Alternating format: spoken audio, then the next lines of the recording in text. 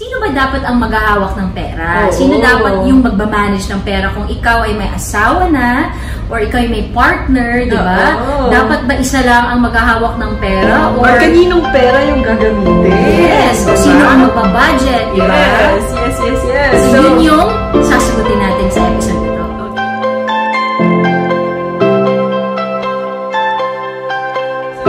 Today, our episode will be about couples finance. So si ate, nagkakonduct siya ng mga seminars for couples here in the UAE, Dubai specifically, via Investusia. So she Yes. co-founded Investusias with two of her best friends. Yeah. So really, it's with the aim of um, encouraging, motivating Filipinos to really take control of their finances. Ayan. So especially the expatriates. Para pag uwi sa Pilipinas ay meron ka talagang dala. Wow, it's good to have people like that, no? Na may, may, may advocacy para mag-share sa mga fellow Filipinos Yeah. natin. Wow, laban! Alright, okay, so we start. Are you ready? Yes. Alright. So ate, as a couple, importante ba talaga na we know kung sino mag-handle ng, ng pera? Is it really important that you as a couple, you understand or you have a mutual agreement sino yung magbabudget, kaninong money ang igagastusin? Okay. Um, maririnig natin yan siguro sa mga viewers din, sa mga nanonood na it's usually the case. Yan usually ang cause ng away ng mag-asawa kasi nga dahil sa pera, di ba? We are not promoting that we should be obsessed with money. Ang sa atin lang is as a couple, dapat teamwork kayo niyan pagdating sa pera. Because if you already know that that's the cause of most stress in the relationship, dapat maaga pa lang, agawan na. Okay. Oo. Knowing that, paano ba talaga i-handle yung finance as a couple? Okay, so there's no one size fits all na Siyempre, na ano, iba-iba, oo. so oo. different styles, different modes. There's no correct procedure, but it should be depende siya kung what works for you as a couple. Mm. That's why before anything else, importante na kilala niyo yung isa't isa. Yes. Okay, so firstly, before we even go there, kung ano yung six types na pwede kayong mag-combine ng finances, una, tignan nyo muna, anong klase ba yung partner ko? Ayan, so single ka, di ba? So una, titignan mo talaga yung sarili mo, ano ba yung personality type ko? Ako ba yung saver ba ako? Spender ba ako? Oo, di ba? Sugarer ba ako? Di ba? Or talagang sigurista ba ako? So, that character, dapat alam mo yan. That personality, alam mo yan. And so, that's for your quality and your personality. Siyempre, titignan mo rin yung partner mo. Kasi yung partner mo, ano ba siya? Spender din ba siya? Paano pag gusto-gusto mo yung lalaki? Tapos, uy, spender pala to. Wag na lang, ex na lang, isa quality na lang yun. Spender siya, di inspire mo siya na parang maging parang maging conscious sa finances niya. Or kung mahal na mahal mo talaga, eh di ikaw na Turuan, turuan mo lang. Upo tayo. Ito, ganito. o ikaw mag-manage ng finances. Ayan. Ah. Kaya sinasabi natin on our previous video, as women, importanteng marunong tayong humawak at mag-control ng finances. Okay? Yes, yes. So that's the first thing. Tignan nyo muna yung personality types yung dalawa. Para Okay. at least then you can decide kung sino ang mag-handle. Okay? So there are six approaches kung paano nyo i-handle yung finance. Okay? Are you ready? I'm so, uh, are you ready? okay, so approach number one, yung equal tayo approach. Equal tayo. Okay, so sa equal tayo approach, yung mag-partner, pareho silang dalawang may trabaho. Mm. Diba? So, Which both is of common now, modern yes, times. modern Mm. times, usually yung asawa at yung, yung mag-asawa, meron silang trabaho dalawa. With this one, share sila, equal sila pagdating sa bills, sa mga Okay. payments, lahat sa savings nila pareho, kahit iba't iba yung sahod nila. Equal Okay. yung nilalagay nila sa mesa. For example, kung ikaw, yung asawa ko, you're earning, for example, 20,000 pesos, tapos ako, I earn 15,000 pesos, sa equal tayo approach, nag-usap tayo, for example, okay, dito ah, magbibigay tayo ng 10,000, 10,000 ka, 10,000 ako, tapos yung pera na yon yun yung gagastusin natin para sa bahay, doon natin iipunin. Mm, so equal equal amount of money na ilalagay sa table. Yes, Okay. equal amount of money. Usually, pwede naman siyang ilagay sa isang joint account, di ba? Okay. Kasi mag-asawa kayo eh. So, joint account, then kukuha na lang kayo, o bayad ng kuryente, bayad ng tubig, tuition ni anak, di ba? Mm-hmm. And then, kung may ipon din kayo, doon niyo din kukunin yung para sa ipon nyo. So, it's basically equal. One is to one yung mangyayari. Okay, okay. So, yung number two approach naman is yung porsyento approach. Ayan. So, yung porsyento approach, this is where you recognize, as mag-asawa, pareho pa rin kayo, may trabaho kayong dalawa. Um, you recognize na yung isa, mas malaki ang sahod kaysa sa isang partner, di ba? So, sample. So, ikaw, 20,000 ka, tapos ako 15,000. Okay. Nag-usap tayo na, okay, ah, gawin natin, magbigay ka lang ng 70%, tapos ako 70% din. Okay. 'di ba? Or 70% yung ibibigay mo tapos 50% lang yung sa akin. Para naman you can still do other stuff sa Ah, extra money mo. This is where, yun nga, it applies wag pag hindi kayo pareho ng sahod talaga tapos gusto mo na yung isang partner mo ay ano lang, gusto mo yung isang partner mo na hindi masyadong mabigatan sa mga expenses. So, certain percentage lang yung kukunin. Okay. Very clear, very clear, very Yes, clear. okay so, naman. approach number three. Approach number three is yung pili ka approach. Ayan. Pili approach. Pili ka. Ayan. So, dito naman, pareho pa rin kayong dalawa na, na may trabaho, tapos pipili ka lang kung anong bills ang babayaran mo. Ako sa kotse, ako sa ganito, ganyan. Yes, oo. Okay. So, expected yon na since, for example, yung pinili mo is yung ikaw sa bahay, ikaw sa grocery. So, expected na yun na every month, yun na talaga yung bayarin mo. Diba? Ah. Tapos kung ako, sa tuition, for example, ng mga bata, expected na ako talaga ang maghahanap ng paraan para mabayaran yung bata. Tapos kung may extra income, may extra income man ako, akin na yun. Ah, okay. Ayan. So, pili ka approach. So, that also applies to some couples. Okay, okay. Okay, tapos, meron naman tayong number four, which is ako na approach. Okay. So, ang ako na approach naman is, this applies, this is a traditional way of um, um, allocating, Usually handling your finances. Oo. Oo. So, this is usually the very traditional one na kung saan si husband ang nagtatrabaho, tapos si misis nasa bahay, di ba? Tapos sasabihin ni husband, okay, so ako na maghahanap buhay, tapos ako na bahala sa lahat ng expenses, pwede din siya ang mag-budget or pwede si misis. Okay. Pero in this approach, isa lang talaga, siya lang ang nagbabayad sa lahat ng expenses. Mm. Or kung si Mrs. naman, for example, yung nasa bahay, tapos may negosyo siya, di ba?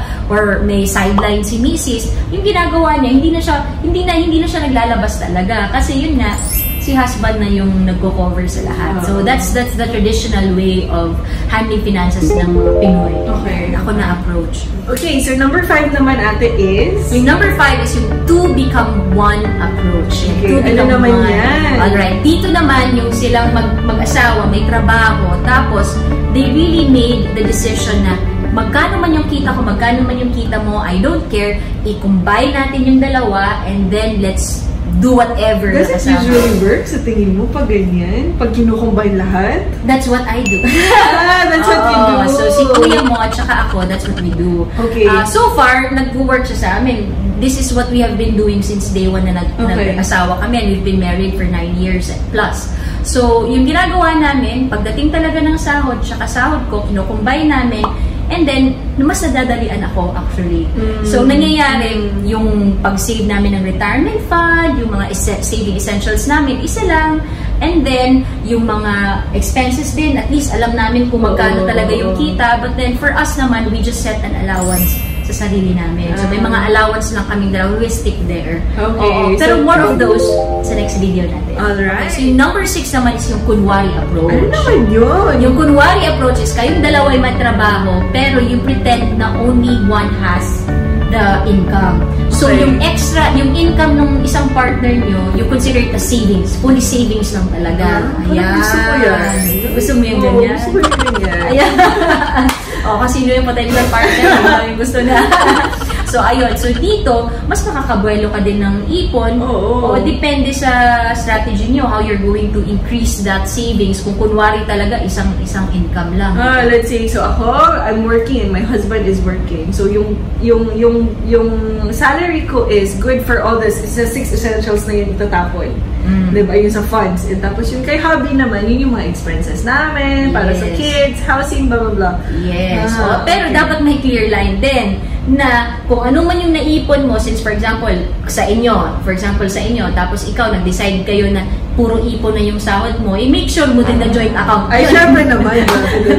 Kasi mahirap na pangalan mo lang, kawawa naman sila Sabi, dati, di ba? oo. Oo. So, yun yung dapat tignan mo. Okay, Oo. so yung six approach, depende to again, depende ito per couple. Okay. Diba? What fits you might not fit the other couples. Yes. Okay, so yun, natutunan natin na we have six approaches on how to handle couples finance. Correct, correct. So number one is equal tayo. Okay, dito sa equal tayo approach, pareho tayo ng binibigay. Yes. Ilalagay sa table and then kung magkano yun, dun tayo nag-allocate ng mga expenses or savings.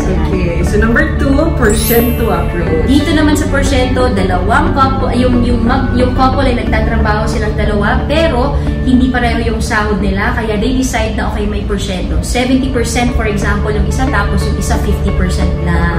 Oh, good idea din yun. no? Mhm. Number three is pili ka approach. Yes, dito sa pili ka approach, you pick your own bill basically. So, Okay. pipili ka kung anong expense yung uh, babayaran mo lang. Pwede ba bunutan doon? Pwede, why not? Ganyan tayo.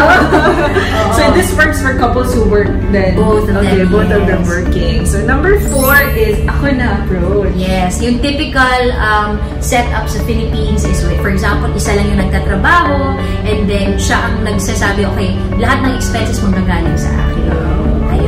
Superman. Oo, sino kaya yung may ganyan pa ba? Ko pa ng ganyan.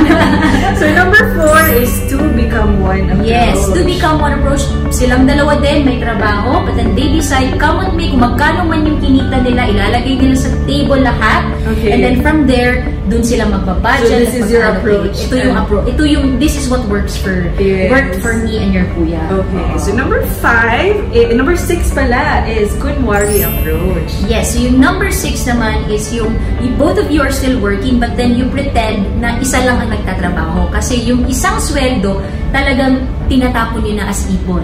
So, depende talaga yan. But the most important thing as a couple is, una, dapat meron kang communication. Dapat pag-usapan talaga ang pera. Alam natin yan, it is not the most important thing in the world. We always stress that kaming dalawa. But it is a factor that will determine the peace and the serenity True. sa relationship nyo. Kasi ito yung magde-decide kung may pera kayo, wala kayong pera para, I don't know, bumili ng pagkain, kung saan kayo titira. Your lifestyle. Yung lifestyle Your mo, lifestyle. oo, kung may anak ka na, saan mo pag-aaralin, di ba?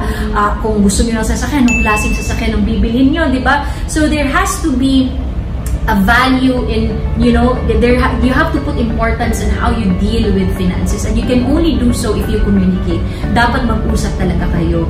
If, for example, si babae is better in handling finance, the, the, the money, then let the woman handle the finance. Pero kung sa tingin niyo talaga mas magaling si hubby, then si hubby ang mag-ano, si hubby. So there there is no fine rule na dapat si babae talaga dapat. Is it really important na upuan ng couple na, oh, ikaw, let, let's say mag-agree tayo na ikaw ang mag-handle ng, ng, ng budgeting natin? Okay, oh, importante. You have to decide. There has to be a rule. For example, sa relationship namin ng kuya mo, ako talaga yung nagbabudget. Okay. So, pagdating ng sahod or may payslip na, ako na yung nakaupo and then I, I plot it down tapos sinasabi ko na and then tinatawag ko siya. Mas maganda ngayon, walang walang ano eh, walang argument. Ganun. Tingnan mo na lang. Tingnan mo na lang, okay ka ba? dito? Okay, approve. Oh, let's go on. Ganun. Okay. So, ano yun? Ano, ano, saan kayo nagbabudget pala? Okay, so nagbabudget kami noon talaga sa paper ako, nagsusulat lang ako sa paper. But then, yun, si, yung kuya mo, ginawa na ako ng Excel sheet. So, sa Excel sheets doon na ako. So, we've, we've, I've been doing that for so long already. Wow, that's an interesting But- topic din, Yes. diba? We can do that on our next episodes maybe. No, we Yes. can we can talk about how you handle your finance, your your budgeting, your Yes. budgeting as a couple through your Excel sheet. Exactly. But also, yung sinabi ko nga sa Excel sheets, importante yun, pag inuupuan nyo, may times, no, lalo pag mag-asawa kayo, tapos iba yung personality nyo, may times na nag-disagree kayo, ganyan. It's okay. Upuan nyo talaga, discussan nyo yung pera niyan, that's okay. Okay na yung at least pinagdidiscusan nyo paano nyo ibabudget yung pera kaysa mag-away kayo na Ano ba mga wala usual na na- pinag-aawayan niyo sa budgeting? Hindi ko maalala. Oh, Kasi pag may agreement na kayo kung magkano talaga yung pag-iipunan nyo, like, siguro yung magkano yung i-allocate natin for our investment fund, magkano yung i-allocate natin yung gano'n, yung for our holiday fund. So, kailangan yung pag-usapan. Nag-aaway kayo kung magkano yung material fund mo. namin. Hindi naman. Pero inaano ko na, kailangan talagang pag-usapan. Kailangan yung upuan. There will be times na you might disagree, but agree to disagree, you know? Mm. Importante na um, as until meron na kayong sistema para mas mabilis na lang. For example, ngayon kami, Halimbawa, pagdating ng P-slip, isang upo ko lang, tapos, ayun, mabilis na lang, allocate, allocate na lang. Kasi alam na namin yung figures na kailangan namin ilagay doon. And then also, teamwork. Kailangan kayo, you have to work as one. Dapat isipin nyo na everything that you're doing is for the betterment of the relationship. Yun yung titignan nyo. Kung kayo, couple din kayo, and then mag-asawa kayo, matagal na, or bago pa lang kayo, well, kung bago pa lang kayo, better. You start fresh, di ba? Ano talaga, ipon ka ikaw kung may asawa ka na. Ano talaga, pag-usapan nyo, you sit down, you see kung anong personality nyo, mag-isa-isa, yung personality nyo, and then you decide, paano ba to? Anong approaches? Sa anim na approaches na yun, what will we do? Di ba? Pag nakapili ka na ng approach, sino ang magbabudget? Si girl or si boy? Ganyan. Kung si boy, dapat you have to respect that ano, nabigyan mo siya ng space, bigyan mo siya, di ba? And then, pag naka-budget na si boy, syempre, kailangan na rin pag-usapan, okay lang ba yung figures na, na, na ilagay ko dito? Tama ba yung ginawa ko? And then, so you do things together pa rin. So, ayun, lagi mo sinasabi na married couple, same couple, blah, blah, blah. What if mag-boyfriend and Oh. girlfriend? Paano yun? Anong gusto like, mo? what if, ano, is it really recommended na mag-joint account na? I mean, does this approach um, work for mag-boyfriend and girlfriend din? Or Okay. what do you think? What, what, what is your Kung opinion? ako, ah, opinion ko, kung ikaw to, kung ikaw to, hindi talaga. so, Wag mo na. hindi, wag muna mag-combine. Wag muna mag-combine. girlfriend and boyfriend, wag muna mag-combine. Naghihiwalay nga mag-asawa eh. Naghihiwalay nga, nag-aaway nga. Eh, paano kung ano? Kasi what you want is to build the habit. This is what it is. Kung boyfriend-girlfriend pa lang kayo, you build the habit of saving and budgeting on your own, separately. Mag-budget si boy, mag-budget si girl.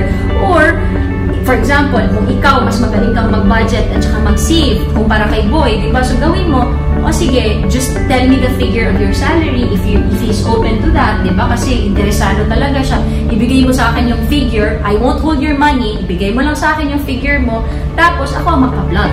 Di ba? Kung magpa-plot kung magkano yung six essential savings, yung, yung retirement, investment, holiday, ganyan, more of this video sa previous episode natin.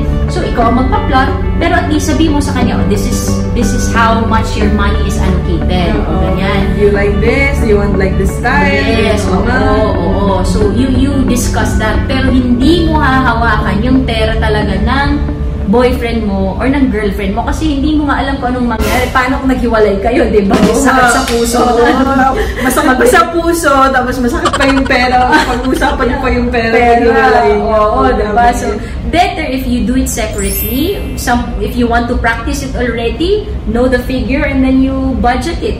If the one who's, you know, more responsible, then that person will budget and allocate. Alright, so those six approaches. Dapat Hindi married couples kayo. So if you're single and then if you have like a partner, like a uh, meron kayong girlfriend, boyfriend, you budget separately. And if Okay. ever mag-asawa, mag-asawa na kayo, combine. And then Combine, the sixth oo. approach, you, you you you search or you you think, upuan nyo, you decide which approach works for you both. Yes, oo. Pero kung single ka naman, at least yun nga, titignan mo na ikaw mismo as a person, dapat alam mo na, kung alam ka, alam mo nang mag-budget, babae ka man or lalaki ka man, you have to polish that skill, you have to refine that skill, dapat marunong mag-budget, marunong Oh, di ba para pag tatanungin ka ni girl, Yes. pag boy ka, tatanungin ka ni, anong meron ka na wala yung iba? Yes, Marunong ako mag-budget! Correct! Marunong ako mag-ipon. Meron ako retirement fund, investment fund, Oo, holiday fund, diba? emergency fund. Ayan, diba? Plus points kaya yun. Plus first kaya yun. Oo. So, thank Ayan. you ate for sharing us the six tips. Sana naman may natutunan kayo. Oo, mga sana. couples dyan, if you have other approaches na hindi namin Yes, na-mention, yes. please let us know so that Yes. maybe it works for other people din, Oo. di ba? So, stay tuned kasi we will be discussing more about this couples finance in our future episodes. Yeah, so stay tuned po kayo. Thank you and we'll see you again!